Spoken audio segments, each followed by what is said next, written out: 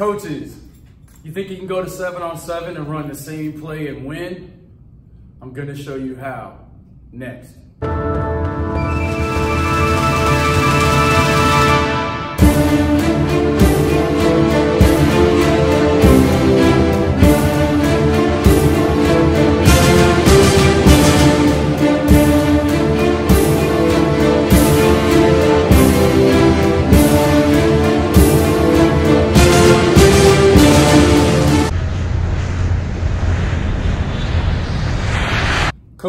Welcome back to the 92 Mesh Group Chalk Talk series. I'm Coach Coltharp out of North Carolina, and today we're going to talk about running one play for an entire seven on seven.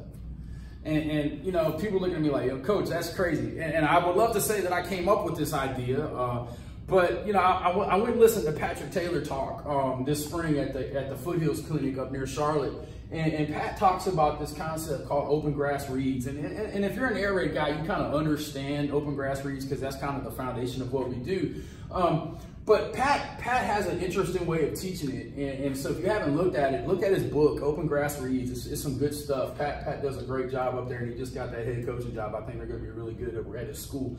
But imagine if you went to a seven on seven and you ran four verticals the entire time.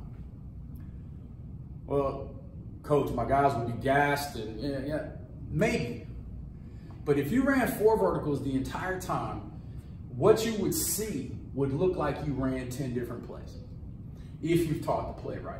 And so here's what we're looking at. So if we have, you know, let's just put a basic defense up there. And I'll tell you what, just because we're talking about seven on seven, let's let's put a, a defense up. And, and we'll start off with two shell okay? Let's start off with two shell, take the lineman out. Okay, now there we go. We got seven on seven. Um, and you know, defenses sometimes like to cheat and put that fourth guy out there. Oh, we're gonna blitz one and take a knee, and of course that never happens. They end up dropping eight. But um, let's look at the the four vertical concept. So the outside guys are gonna outside release and get on their landmarks, which is the numbers. And the inside guys, landmarks is about a yard, you know, inside or outside the hash, depending on, um, you know, you know, where we're lined up. Let's just say we're in the middle of the field. So we want him to get on the hash and we want him to kind of be on the hash too. You know, you can play with it a little bit, however you want to do. Okay, so what we tell our guys, and I, I, love to do this right here, I just love to swing him because it gives the middle of the field open, but you can run little check downs and things like that too, however you want to do it. Um, but what we tell our guys is run until you're open. Okay, run until you're open. What do you got to do to get open now? And, and so like for H, for instance, right now he knows that if he runs a quick hitch, he's open.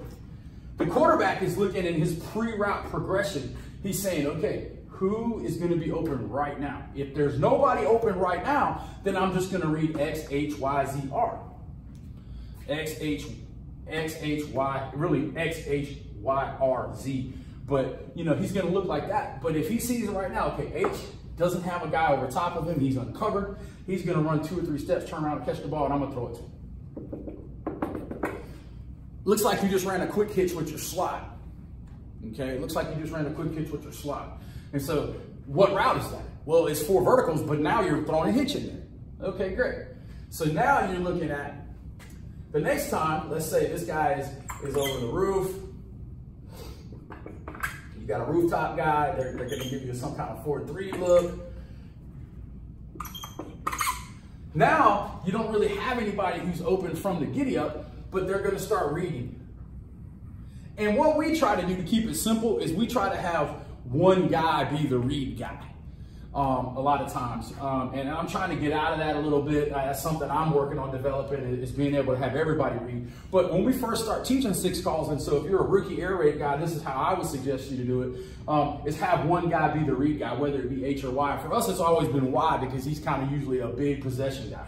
And so what we're telling him is, is he's going to get the 10, and then he can hitch, out, in, or keep it going. You know, he can hitch out in or keep it going.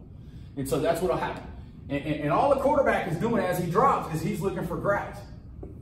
And he's going to try to throw that guy open. So now it looks like a different route. And so you, you play this game, you, you throw a deep ball here, you throw a hitch, you throw an in or a hitch here. And then what if you get cover three? You know, these guys are bailing. And, and this guy knows, if X and Z know that they can't get on top of those guys, you know, if they're playing a true cover three, you know, there's a signal that we have that they're going to run a stop.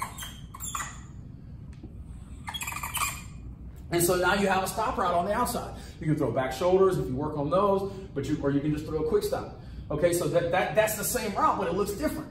And so there's other things that you can do. And then eventually towards the end of the session, if you really trust your quarterback, you can allow your quarterback to start tagging stuff. And so he can run six and then tag maybe H on a shallow or Z on a shallow and doing some different things like that. So hopefully this has got your mind working. Can you go to a seven on seven and throw just one play? In yesterday's video, we talked about do you script or do you win? Well, this is a way to script and win. And in the comments down below, what do you think? What are you, what do you, do you think you can do this? Do you script or you try to win seven on seven? It's seven on seven season. I understand you want to compete, but it does matter, does winning on seven on seven matter if you don't win on Friday nights in the fall?